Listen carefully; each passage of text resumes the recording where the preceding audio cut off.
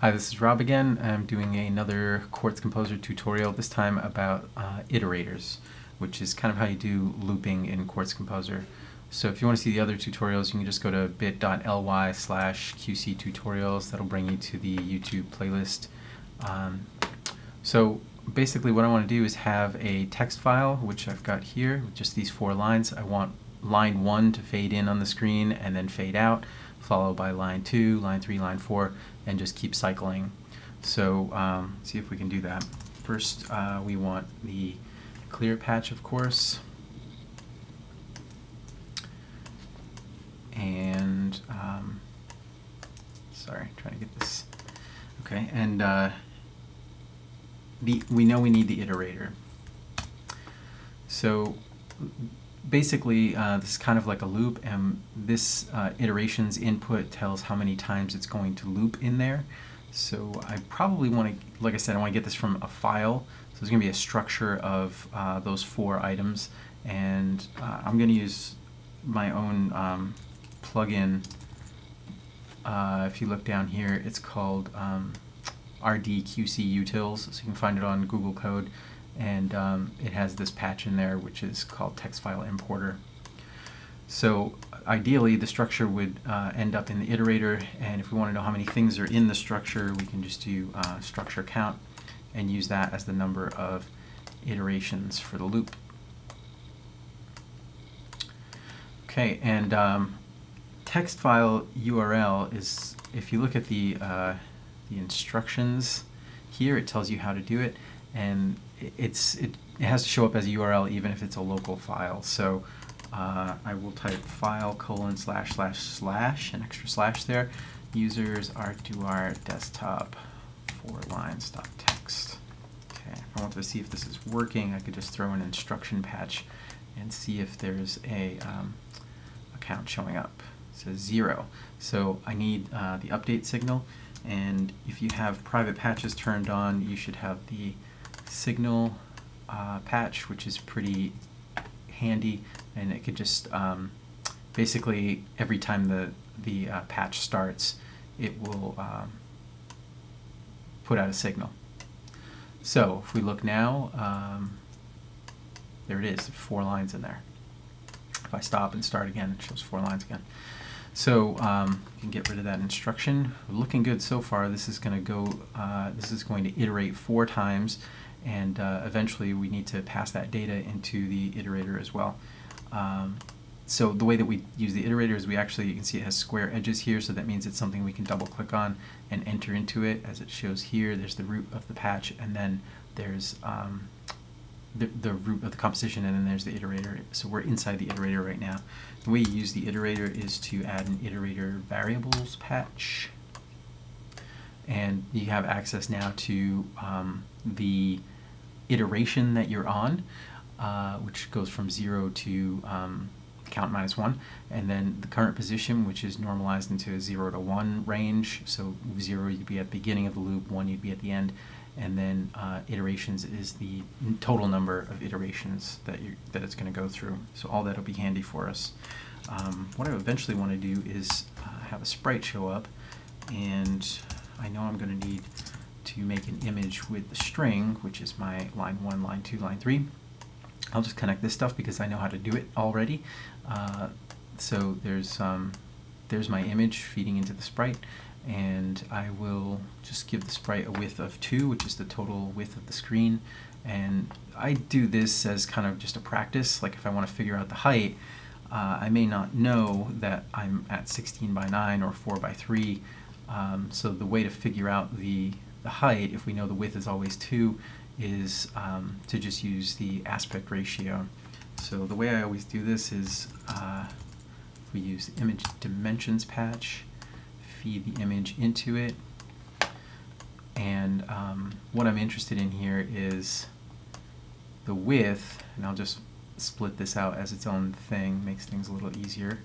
There's the width, which I know is 2 because I entered it in, right, right there, 2 and um, I'll just do some math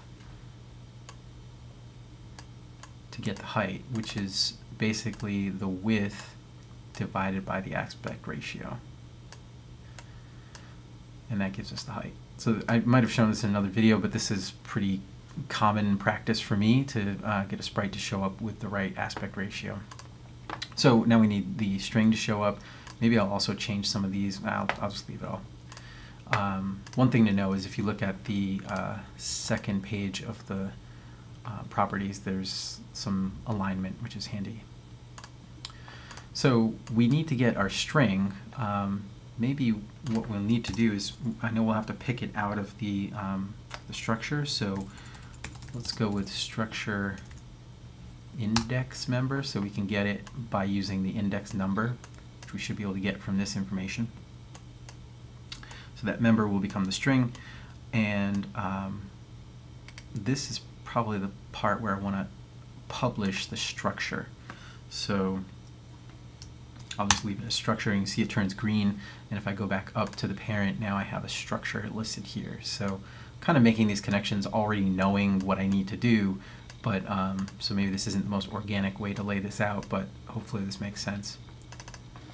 So now I've got my structure, and I'm able to pick an, a member out of it, and use that to create a string which will show up on the screen. I don't know what would show up right now. Oh look, there's something showing up. So, um, okay, let's try and figure out how to get the index. That's the next thing. So basically we could use current index, and whatever index we're on right now, um, you have to imagine this happening multiple times um, for one for each of, the, uh, each of the items in the structure or each of the iterations that we go through.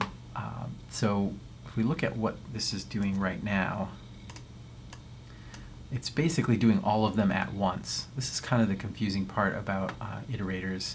Um, also, it's kind of, I think maybe right now just changing the font size. Yeah, it makes it look better anyway. Um, so you can see they're all showing up on top of each other, which is a problem. I want them to show up one after the other, and this is not necessarily geared toward having things happen in sequence. It's it's having them happen multiple times, but they're all happening at once.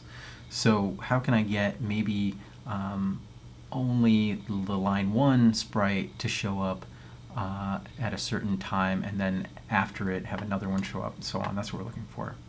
So this is just kind of like old school, um, same thing you would do in any programming language probably, is maybe we'll look at, uh, let's use integrator as a counter.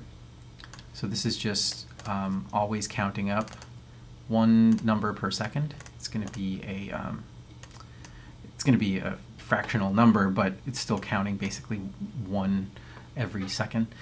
And um, what I can do is use mod. So if I say, I'll use some descriptive names here. Let's say, um, uh, I don't know, let's call this seconds, number of seconds, mod, uh, the total number of iterations.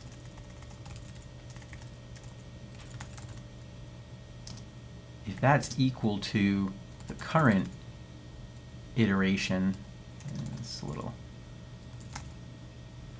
Let's do that.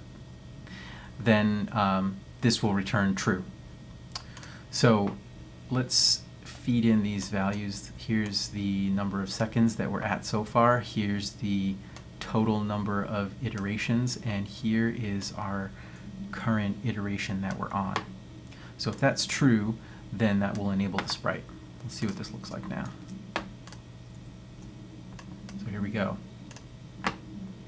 It's not in sequence, and I'll leave that for, for you to figure out or another, another tutorial or something, but the structure isn't necessarily in order. Um, so th this, oh no, well, I don't know. It seems to be going in reverse order. Maybe it is in order. I don't know. you can look into that. So that's great, except that I, I, also wanted to have them fade in and out. So there's a little bit more that we have to do um, for that. Let's well, one, the way we can do that is to, to use RGB color, RGB color, and feed that in as the color of the sprite. But um, what I'm interested in doing is changing the alpha. So I'll leave these at their defaults of 111, and that's white, but uh, alpha will be um, something that has to go up from 0 back down to 0. That's what I'm looking for. So the way that we do that kind of thing, you could use, if you look at, um, I think maybe the movement tutorial, I'm not sure which tutorial it is that I did, but uh, there are a bunch of ways to do that. Interpolation is one, you could use timeline, um, but if we use interpolation to feed in that value for alpha, what we'd get is, um, depending on the settings, a uh, we'd get like a mirrored loop of a, uh, let's say, quadratic in-out. Think if we look, here's so here's what it looked like. It'll fade in, and then we have the mirrored loop, so it'll also fade out. So that's the kind of, we're looking at completely clear to uh, completely white, and then back down to completely clear. So that's exactly what we need. Um, problem is, you know, even if we got this right, it's duration of one second, um, that's actually one second to go up. So what we really need is for it to be half a second. So it'll go up from um, zero alpha to one alpha and then back down within the span of one second. But if we look at this, I think um, this does not necessarily do what we're looking for. Okay, yeah, it does. I kind of feel like it's luck, but eh, maybe that's all we need. so uh, if I change this value to um, 5, that means it'll take 5 seconds to go uh, from 0 to 1 and 1 to 2 and 2 to 3 and so on. Uh, I'd also have to change this so it matches. Um, let's, let's see what it looks like right now. So now you can see it's, okay, sorry, if I change this to 5, that means it will do five numbers in the span of one second. So what I actually want is probably, if I do 0.2, that means that it'll take uh, five seconds to change a number. So now what we've got is they're out of sync. This is happening every uh, fifth, uh, sorry, every five seconds, and this uh, fading in and out is still happening every one second. So I'd have to change this to correspond. Uh, and it's not five, it's um, 0.5.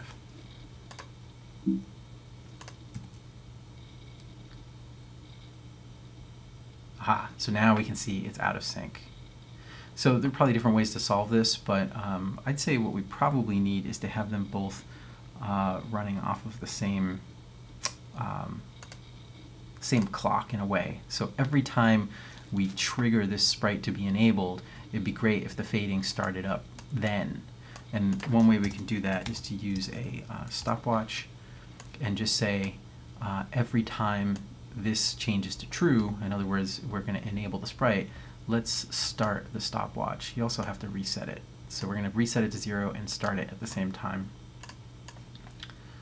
Let's, this and um, so how do we feed time into here? If you um, look at some of the other tutorials, it'll tell you about using time-based external. So instead of starting when the patch, when the composition starts, it'll um, use uh, stopwatch as its clock.